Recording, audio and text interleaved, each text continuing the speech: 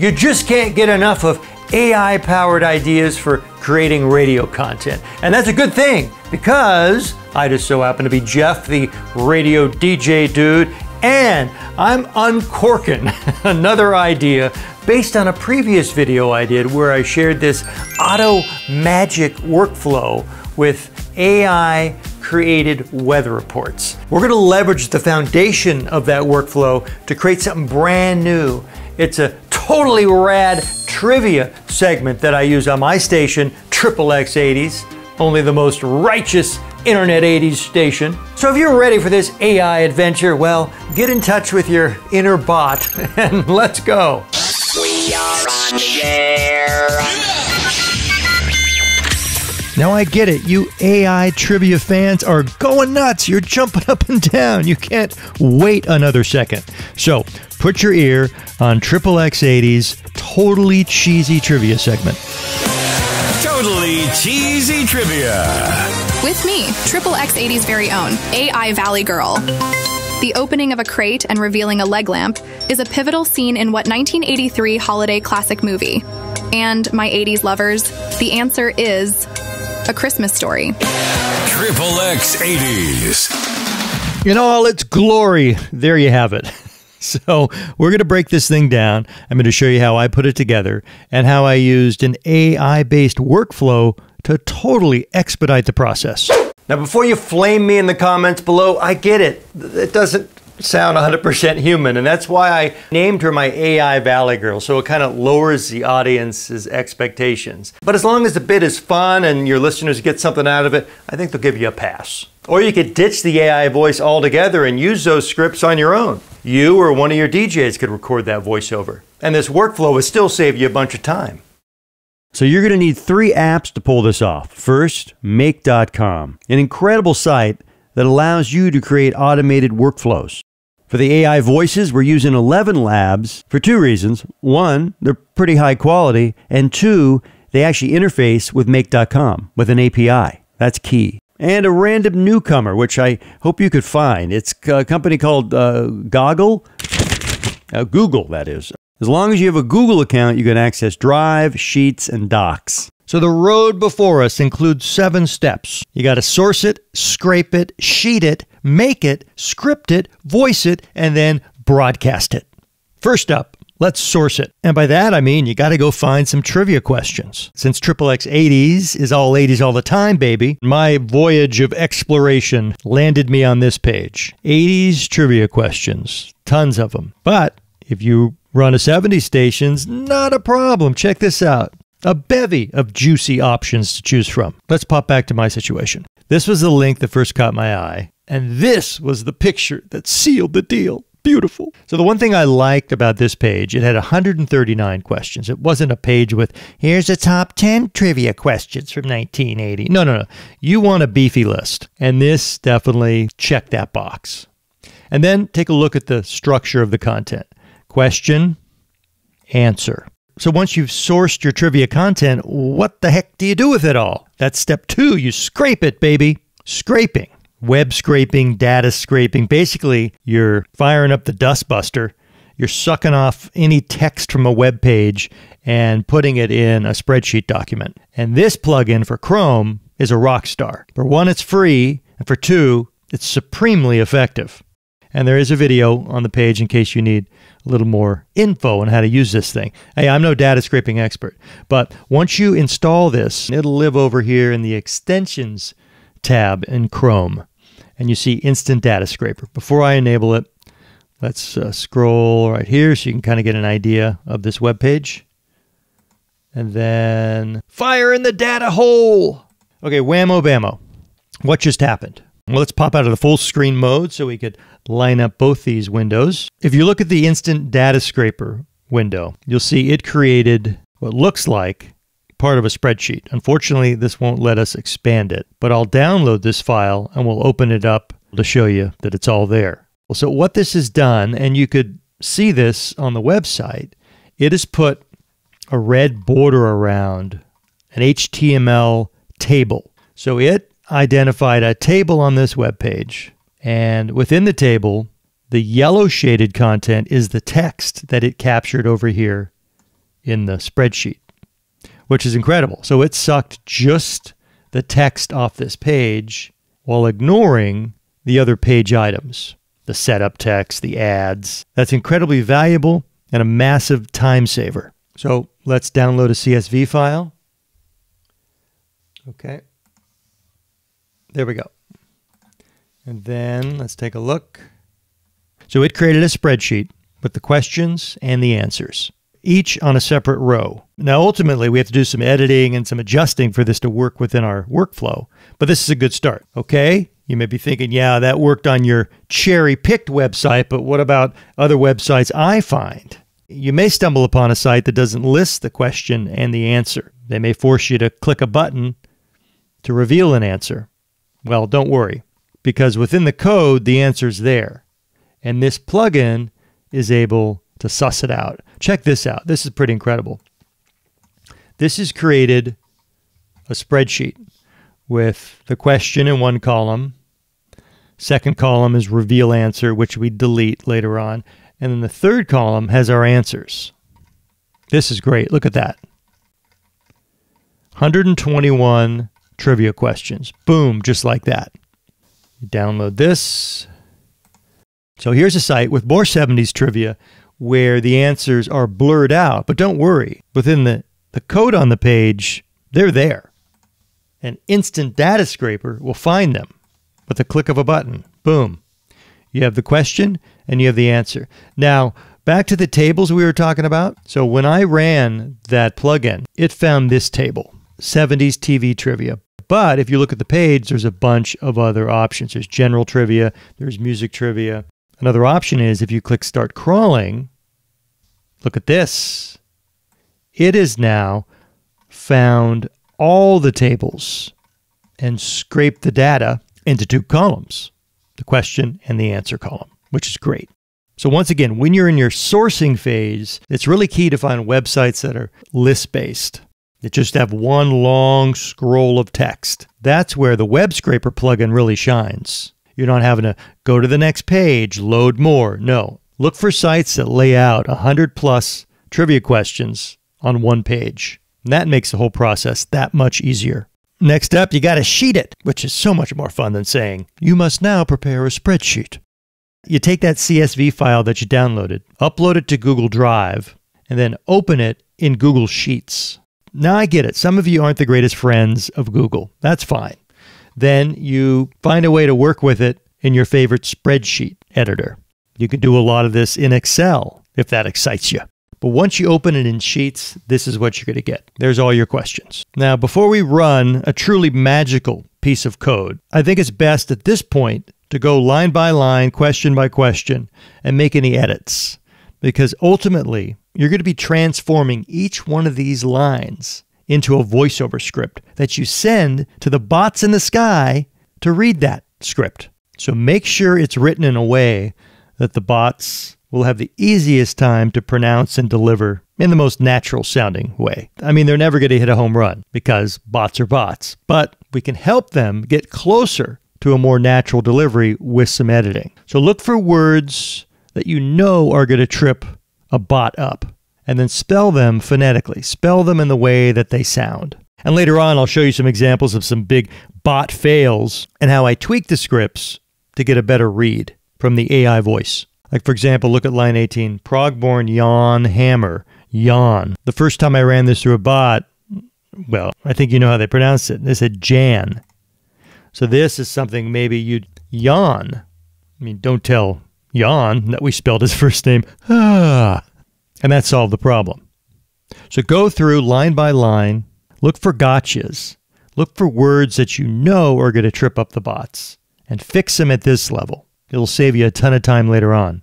And this is also a good opportunity to make edits because sometimes these trivia questions are written in a format that work well for the printed page, but not so much for the spoken word. So you may want to rewrite them to be more conversational. Sometimes acronyms trip up the bots. So this is uh, one of the situations where you may want to space this out NBA instead of NIBA. Look for opportunities for pronunciation. Sometimes adding a comma will insert a much needed pause to make a read sound more natural. Now that you're happy with your sheet, I've been waiting all video to say that. And if you think you could just send this over to your AI voiceover app and think it's going to make heads or tails out of it, well, cue the sound effect. Exactly. So we have to reformat this in a way that our make.com workflow will understand. So I have a magic formula that is waiting for you in the description. You take that magic formula into column B and you simply paste it. So expand this out so we can really see column B. And I, I know column A is encroaching on column B, but highlight in column B, row 2, you see B2 up there, and you paste that formula. And oh my gosh, you better be in a seated position once I hit enter. Formula, enter, worlds being categorically rocked. Look at all that.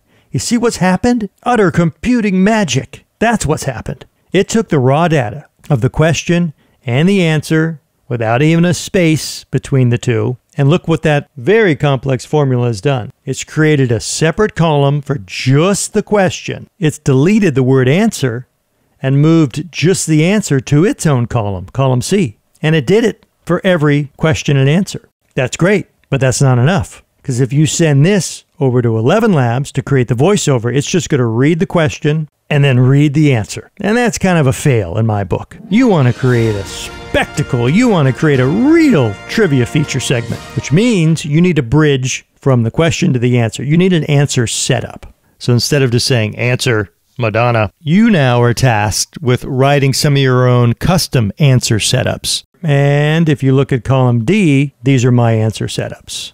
I think I came up with three or four different ones that I've just copy and pasted and rotated throughout the segment. You don't have to come up with a hundred different answered setups. Come up with three or four so at least there's some variety. And place these answer setups in a separate column. Now, you're looking to the beginning and the end of the script, and you think, well, what's all that other code? Well, these are cues for 11 Labs, the app we're using to generate the AI voiceover. This is telling 11 Labs to insert a 0.6 second break, silence, before this voiceover and 0.4 seconds of silence after the voiceover. So that's giving you some pad between the question, the answer setup, and the answer. So that pad is really key to achieving a very natural read. So here, if we zoom out, we could see the entire spreadsheet as it'll integrate with make.com. Our three separate columns. Column B, the question. Column D, the answer setup. Column C, the answer. That's perfect. Step four is where a lot of the magic happens. You got to make it. And by make it, I mean use make.com to set up a incredibly cool workflow. Now, if you watched my video on creating AI powered weather reports, this is very familiar. This is the exact same workflow that I used to create those weather reports. And I'd have to say at this point, it's required viewing because I'm not going to go deep into the mechanics of make.com in this video. So you really need to check that video out which of course is patiently awaiting you up in the right hand corner. And this trivia segment was really born from this AI weather idea, using a similar workflow, or what Make.com calls a scenario. So, step number one after you create your Make.com account, and yes, they do have a free option, which I'm using right now, is to create a new scenario. So, what awaits is a blank canvas. So, you click this to start adding modules. Specifically, we're looking for Google Sheets. Boom. And the Watch New Rows module. There you have it. Next up would be a Google Doc module, specifically create a document. So you can get a better idea of how all this works, let's jump over to my trivia scenario. And here is the first half of the AI trivia scenario. Our first module tells Make.com to watch for new rows appearing in a specific Google Sheet. And before you can do any of this, you have to first connect your Google account with Make.com. And they make that very simple. Once again, my AI weather video dives much deeper into this. After you connect the module with your Google account, then you'll see something similar where My Drive will appear. Then you have to point it to the specific spreadsheet with all your trivia data. For me, that's a spreadsheet that we just looked at called 80s Trivia. And you choose the sheet name. For me, I only had one sheet. Yes, the table does contain headers. And this is telling Make.com which rows have the headers. So for me, that's A1 to D1. I think it's smart to run smaller batches of this process instead of you know, setting the limit. Do 100 voiceovers at the click of a button. No, there is some handholding that goes on to ensure you get the most usable product. So I like to do smaller batches and then do quality control on those batches before moving on to the next set.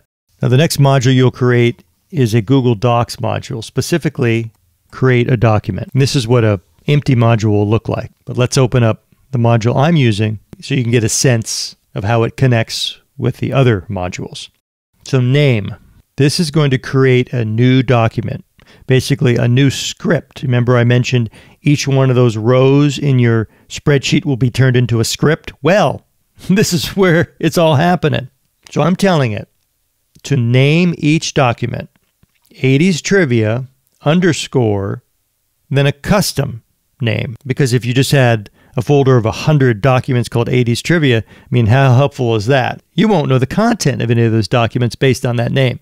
So, the really cool thing about Make.com is it can interact with other modules, other documents. So, this naming configuration is text of my choice, but at the end, I'm telling it to take data from 8, you see here Google Sheets, that's module 8, it allows me to pull in data from this previous module, Google Sheets, which is 8. Look down here. Instead of having a long file name, which in, includes the whole question text, I'm choosing to just bring in the answer. So I know in this example, the script would be Batman. It would be 80s trivia underscore Batman. See how I dragged in that element? So this is column C from our trivia spreadsheet. Okay. That's how we name it. This is where it gets mind blowingly awesome. Content. What is in your document?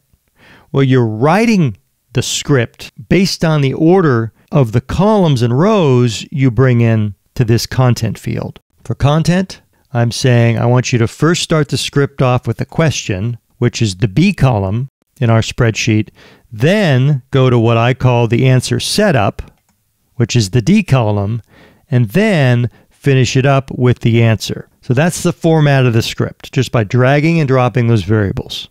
Boom, done. Then, where should we save this script?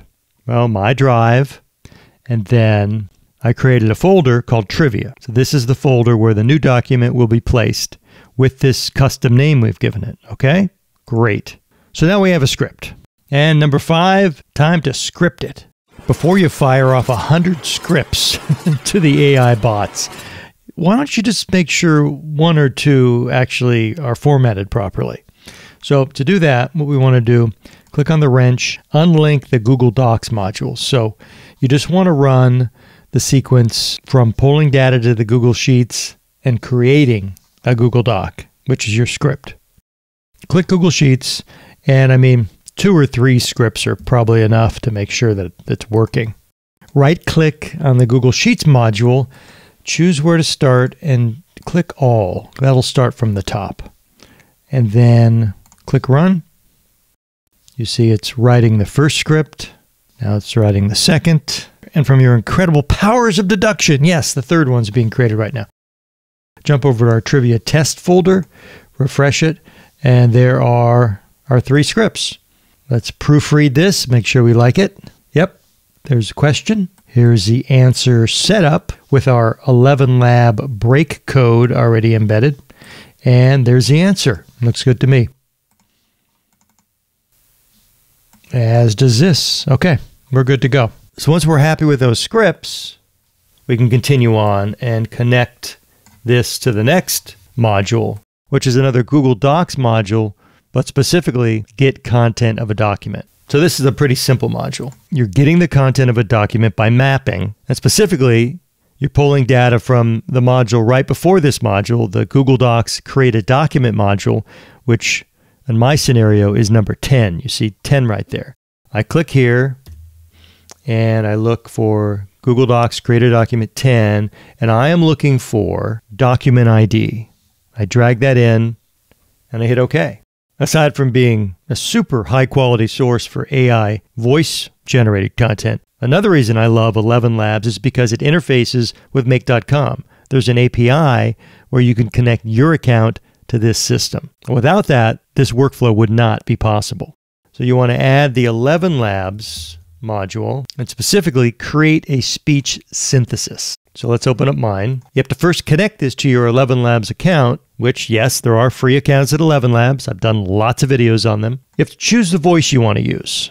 And this requires you doing some exploration over in 11 Labs before you jump to make.com. And number six, voice it. This is where the fun meter starts pegging. We're going to jump into 11 Labs to select our star voiceover artist. And you've got a lot of voice to choose from. This is totally subjective. You need to find the voice that best fits your station, your segment. But for me, Triple X 80s being an all 80s station, come on, duh. Natasha, the Valley Girl, totally gets the job. After you've selected the voice, now the quote unquote fun begins, and you have to tweak the settings to get the right sound, to get the most natural read out of that voice. Full disclosure, this process is completely hit or miss. There's no science to these settings, really. You just have to keep sliding these settings sliders, hitting generate, letting your ears be your guide, and then tweaking a little more until you get just the sound you're looking for. And when fine tuning your settings, just copy and paste a script into the text window and start tweaking. The opening of a crate and revealing a leg lamp is a pivotal scene in what 1983 holiday classic movie? And my 80s lovers? The answer is A Christmas Story. Well, overall, I like that. I think we can make a couple tweaks. Let's add a comma in here just to give a slight pause. And I'm not digging how she's going up on classic movie. I don't like that questioning tone. So let's try a period instead and see what this sounds like. The opening of a crate and revealing a leg lamp is a pivotal scene in what 1983 holiday classic movie? And my 80s lovers, the answer is A Christmas Story. Yes, bullseye. I'd hit that with my Red Ryder BB gun in a second. That sounds great. So now you're at a crossroads. Do you go back into your spreadsheet and replace all the question marks with periods? Well, that's why we do some of this testing early on. And it's not as daunting as it would seem. I mean, you could just do a quick test, highlight the rows A through 7, come up here to edit, find and replace. We want to find question marks, replace them with periods. We actually have searching a specific range so you can enter in the range or just highlight them.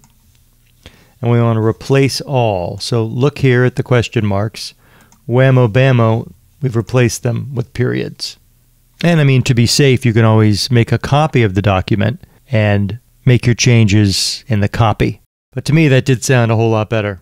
And then you remember these settings when you jump back over to Make and the interim here in Stability and Similarity Boost as well as the name of your voice, the voice engine that that voice uses.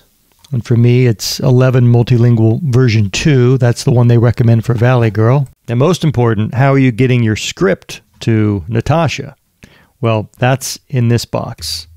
So you're saying, look to the Google Docs module, get content of a document, and send your AI voice bot just the text content. So you're sending the script to 11 Labs where Natasha is patiently waiting in her voiceover booth. Great. Now what do you do? Natasha records that, and what happens to that voiceover? Well, here's a chance for you to connect it to your Dropbox, a Google Drive, or even FTP it. So you connect your Dropbox account, you choose the folder where you want to send these files to. So radio trivia, and then you're telling it to move the file that 11 Labs creates to this folder. Okay? Boom. If you wanted to go a step farther, you can actually FTP it to your radio station by creating a connection and linking up your FTP service to make.com. Now, there is a second part to the voice it step, and that's performing some audio processing on all your AI voiceover files. But before that, you got to go cook up these voiceover files. I'm not going to claim this is the best workflow. Because we've broken the chain between these modules, we've interrupted the current workflow. In order to make sure those test scripts that you previously generated are actually sent to 11 Labs to be recorded, I think for safety, come back over to your folder, delete those scripts, pop back to make.com, connect the modules, click on Google Sheets, and this is where you could start increasing the limit, the number of scripts you create at any one time. So let's say you wanted to do batches of seven or even 10. This is where you enter it. Choose where to start. We're saying start from the top. Let's say you do 10 and you end up with 10 acceptable voiceovers and you come back to rerun it and it does the same 10 again. Uh oh, then what? Well, the then what is to adjust the start point. What row should it start back on in your spreadsheet?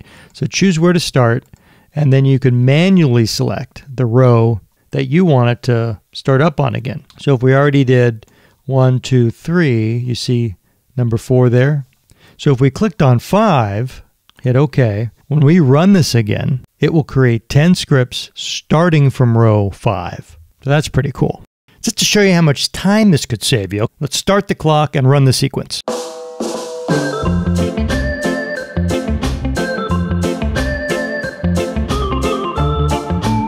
Okay, stop the clock. Wow, that's pretty impressive. Checking out our script folder. There's a script.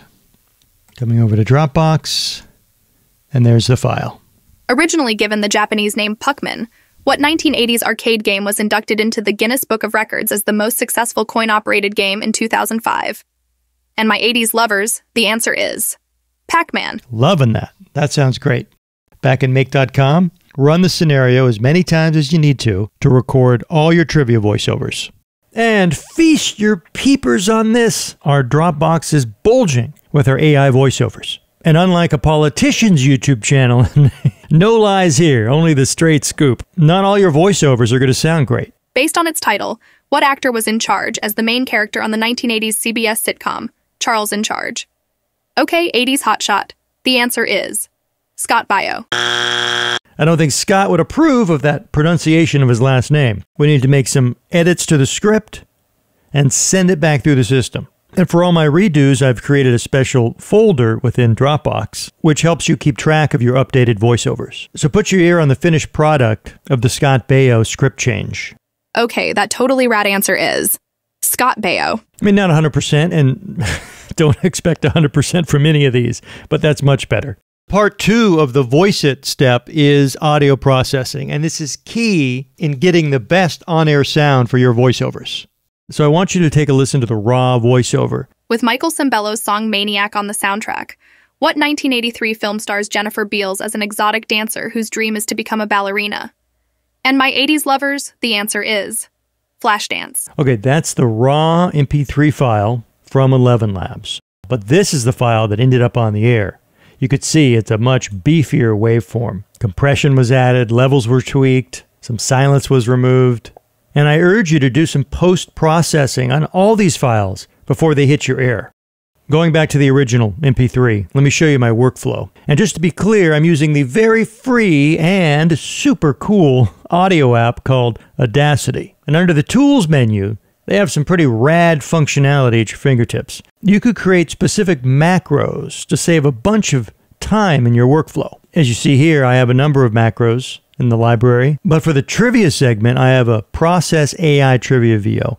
And basically, what this macro is doing, and this video really can't be a deep dive into creating macros. If you search Audacity creating macros, I'm sure you'll find a bunch of tutorials. But what I'm telling this one to do is to select the entire waveform, run an effect called truncate silence. And the cool thing about this, you could enter the dB levels that you want to target, which is basically silence. So I put negative 50 dB. And then you set up a duration, which will tell this effect when to kick in. So anytime there's silence of 0.81 seconds or more, this effect will cut the 0.81 seconds of silence down to 0.3 seconds of silence, which is an acceptable amount of silence in human speech. And then I'm telling it to run one of my other macros for radio processing, and this one's doing a bunch of things. It's normalizing the file, it's adding a noise gate, it's compressing it, which is super important, and then it's adding this limiter to make sure nothing goes over negative 2 dB. Imagine having to do all that by hand, individual effects being applied to tracks. Oi! No, we definitely like hitting the easy button for this. And this macro is such a time saver. Now, just so you know, after I run this macro, the waveform will disappear because it's going to export it as a wave file and it's going to close the track and then in the macro. But where is it exporting to? Well, you set that under Preferences under the Edit menu. So if you go to Directories in your Preferences, you can designate the directory you want to put all your files in that have been created by a macro. So all my processed files are going into this VT80s trivia folder. Okay, let's run the macro and then applying process AI trivia VO. Buckle up. Whammo bammo. There it is. Much healthier waveform. It's trimmed a little of the silence and it's good to go. As for the levels, I want you to watch the meters up here so you can get an idea of the before and after. With Michael Sembello's song Maniac on the soundtrack, what 1983 film stars Jennifer Beals as an exotic dancer whose dream is to become a ballerina? As you can see, they never really peaked under negative six, where compared to the processed file, you'll see much healthier and radio ready levels. With Michael Sembello's song Maniac on the soundtrack, what 1983 film stars Jennifer Beals as an exotic dancer whose dream is to become a ballerina? And because of that hard limiter, we can rest assured it'll never exceed negative 2 dB. Now you're probably thinking, yeah, the macro saves a little time, but wow, I still got to open up every file and run that thing? You think I'd leave you hanging there? No way, baby. So you first have to close this file, go up to Tools, Apply Macro Palette, and you select the macro you want, which is Process AI Trivia VO, and you want to apply it to files. For me, I have a folder called Trivia Raw, which includes the raw MP3s. Let's select just a couple. and now it automatically is running the macro sequence. And boom, just like that, three of those files were processed. And in case you have doubts, ye of little faith, let's jump into the directory where we've told Audacity to park these files, macro output, and there you have it. These are the three files it just processed for us. So after you process all your files, it's smart to create a cleaner directory for them all with a name that makes sense. So all my files live in the VT, which stands for voice track, totally cheesy trivia folder. And this comes into play when we start importing the files into Radio DJ. And the final triumphant step is broadcast it, baby. And this is where we fire up a Radio DJ to complete the loop and get our super cool trivia segment on the air. So, step one is to open up Track Manager and create some new categories for your trivia segment. How I have it set up, it's under Jingles, which is kind of a clearinghouse for a lot of my stagers or intros to different feature segments. So, under Jingles, I have a subcategory called Totally Cheesy Trivia. I wanted to keep this really simple, just one subcategory for my production elements of this feature. But, I mean, you could just as easily, under categories and feature, create a subcategory called Trivia Game. You're the ultimate judge of how you want to categorize and name your segment because the parts of this feature are pretty simple. It's basically this intro right here, cheesy trivia opener, category jingles, subcat, totally cheesy trivia. And this is really key if you choose to run your segment like I do, where you have this open slash music bed. Totally cheesy trivia. With me, Triple X80's very own AI Valley Girl. And right there at the next start point, it'll trigger off our trivia question voiceover. And you'll see I have about 33 seconds of the game show style music bed to play under that voiceover. And since those voiceover cues never go more than like 16 seconds, that's always going to be plenty of music. But when you look at the waveform, you'll see right when that trivia music comes in, the waveform is much smaller. So the levels really dip down to accommodate the voiceover. So be mindful of that when you're producing an opener with a music bed to bring the levels down so your voiceover isn't competing with the music. Because I wanted to keep this simple, just create one subcategory, I'm using the genre selector to tag it with another piece of information. which I'll use later upon playback within a rotation. So the opener gets the genre remembers, and the second production element is the outro jingle, and it sounds a little something like this. Triple X 80s. So, right after our AI trivia presenter reveals the answer, this outro file is triggered. And you'll see here uh, when it hits the next start after Triple X 80s, that will fire off the song. While the applause sound effects slowly fade out over the intro of the song, which creates a really nice smooth transition from the production element into the music. Okay, talking about the genre information.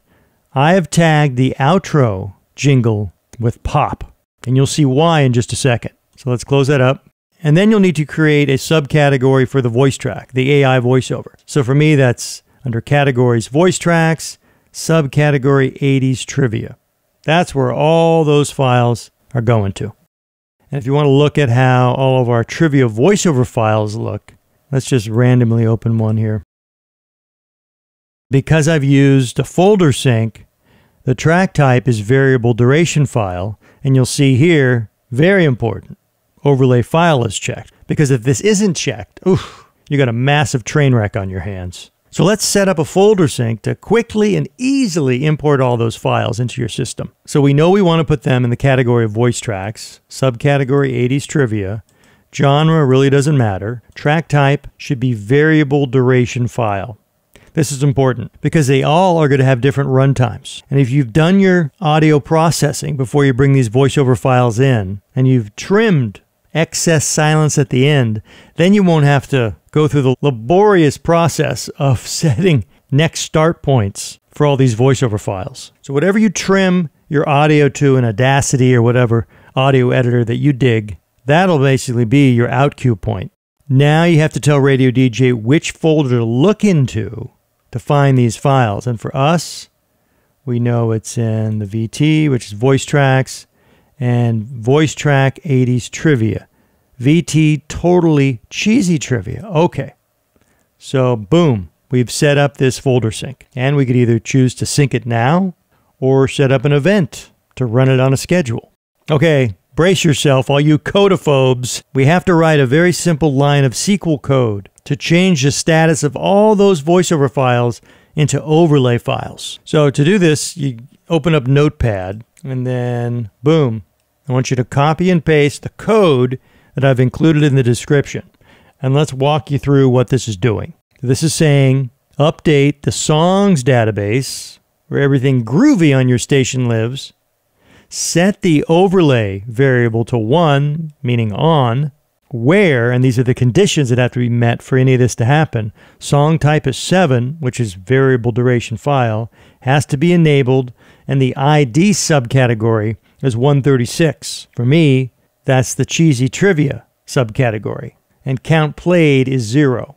Because if you routinely import these files, it's just affect the ones that are new. And the code knows they're new if they've never been played before. So that's why we include that. You save this. I'm, I'm saving it into the Radio DJ SQL rotation examples folder, but you could save it anywhere you want. Trivia VO query 1.sql, very important to add dot .sql to the file name. Save it. And then there it is, right there. And jumping back to Radio DJ, we could create an event. Let's call this, I'm just going to put an A here so it comes up first. VO Trivia Overlay. It's a manual event. And here's what we want it to do. First, we want to select a plugin action, and the action that we're choosing is folder sync, okay? You may not need to do this. I like to add a wait command of like wait three seconds, just so it gives it plenty of time to sync everything up before it runs this SQL code. So you want to run a SQL query, and then you have to tell it where that piece of code lives. And we know it's in SQL rotation examples, and there it is right there. Add the action. So it's going to do a folder sync. It's going to bring in all your voiceover files, wait three seconds. Then it'll run the code to transform all those voiceover files into overlay files. Add the event, close it up, And then over in manual events, you just click the button and then it'll, it'll run your folder sync and the overlay file code. Not too shabby. Whew, you need a minute? Wipe your brow, take a sip of your favorite beverage? You've come a long way. You're doing great. Now, how the heck do we get this nonsense on the air? There are a couple ways to do it. I'm a big believer in rotations. So this is just a test rotation. Let's say we want to add it to the bottom of this rotation. So I'm going to choose track from category. And we already know it's a jingle.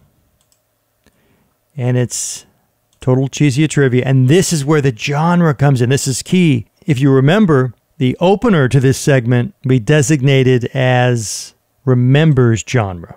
Okay? So this is how you get more bang out of a subcategory's buck. So we could tell it, look in this subcategory for all the files with the remembers genre, which there's only one, the open. Okay, we like that. Next up, we need the voiceover. Track from category, voice tracks, 80s trivia, genre doesn't matter, least recently played, that's important. So it cycles through all your files evenly. And then we want to close it up with the outro, which we know is jingles, totally cheesy trivia. And if you remember, the genre for the outro was pop. And then if we want to put a, another 80s song in after that, I've duplicated uh, an 80s top 40 song from above. And there we go. There's our sequence. Of course, the other way to do this is within an event. So keep in mind when you're building event actions, the playlist will load them from the top down. So you have to think about what's the last element in my sequence, and that's what you start with. So for us, it's the totally cheesy trivia outro jingle, which, this is key, was from the pop genre, least recently played. That's fun. We're adding that action. Next up, the middle element is the voiceover. So the voice track, 80s trivia, that's great. Least recently played, perfect. Add that action. And then what's the first track to be loaded in this sequence? And that is the open jingle, which had the genre of remembers. And right there, that's our event sequence. Let's add the event. Okay, let's refresh our manual events and let's kick this thing into gear to see it in action. 80s trivia. Boom. There's the open, there's the voiceover, and there is the outro jingle. So let's kick this AI trivia segment into gear. Here's how it sounds. Totally cheesy trivia. With me, Triple X 80's very own, AI Valley Girl. With Michael Sembello's song Maniac on the soundtrack. What 1983 film stars Jennifer Beals as an exotic dancer whose dream is to become a ballerina? And my 80s lovers, the answer is Flashdance. Triple X 80s. A buttery, smooth execution, and a super fun interactive feature for your listeners to play along with. Now, full disclosure, I kind of did have to hold the bot's hand a while and get involved to ensure some quality control because some of the reads were just too robotic, they weren't natural sounding enough. And after all, this is your brand, this is your station and it's as only good as it sounds. So I did kind of have to go in and tweak the prompts in a way to get the most natural output from the AI voice. But it was totally worth that investment of time because this is a segment that's going to run for a while on this station and it has to sound good. And there are a lot of directions you can run with this idea. Don't just think it has to be, you know, a one and done trivia segment. Maybe it's a conversation starter. Maybe it's a contest where the AI voice delivers a question, but then you solicit responses from your listeners. So that gets them engaged, gets them participating. Maybe you have a prize to offer. Maybe you're driving listeners to your website. They're filling in a form, you're collecting information, you're building your list. That's all a good thing. And if this has sparked a fresh idea for you, maybe you're going to run with this workflow but in a different direction. Oh, I'd love to hear about. it. Please share your creative musings in the comments below. I'm Jeff, the radio DJ dude, and I am super appreciative of your time. And if you'd be so kind as to click those magical buttons, like and subscribe, woo, it would give me such a thrill. God, I really need to get out more. And until we meet again, please just do me this one solid and keep rocking those mics all over the world.